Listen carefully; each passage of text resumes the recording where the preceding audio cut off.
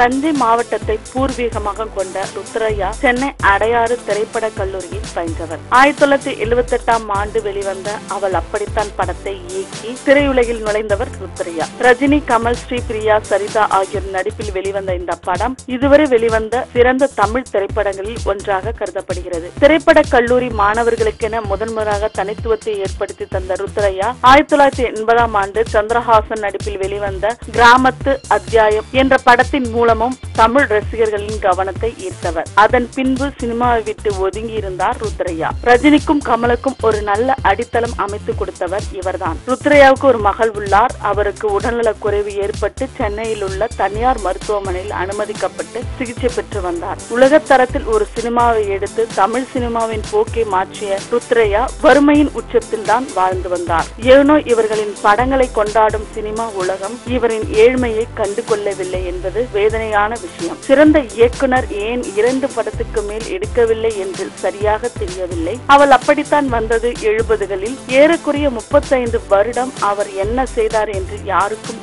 தெரியவில்லை. ஆனால் இன்றைய தலைமுறைக்கு ருத்ரையா பற்றி தெரிந்திருக்க வாய்ப்பில்லை. அவர் இறந்த பிறகு அவரை பற்றி அனைத்து நாளிதழ்கள் மற்றும் வார இதழ்களிலும் நிறைய கட்டுரைகள் வந்து கொண்டு தான் இருக்கிறது. ஆனால் அவருக்கான வாழ்க்கையை சரி பண்ணி கொடுக்கத்தான் யாரும் இல்லை. படைப்பாளிகள் இருக்கும்போது போற்றக்கூடியவர்கள். இறந்த பிறகுதான் அவர்களை பற்றி ஞாபகங்கள் எல்லோருக்கும் வருகிறது. மேலும் சினிமா தகவல்களுக்கு கீழே உள்ள சப்ஸ்கிரைப் பட்டனை அழுத்தவும்.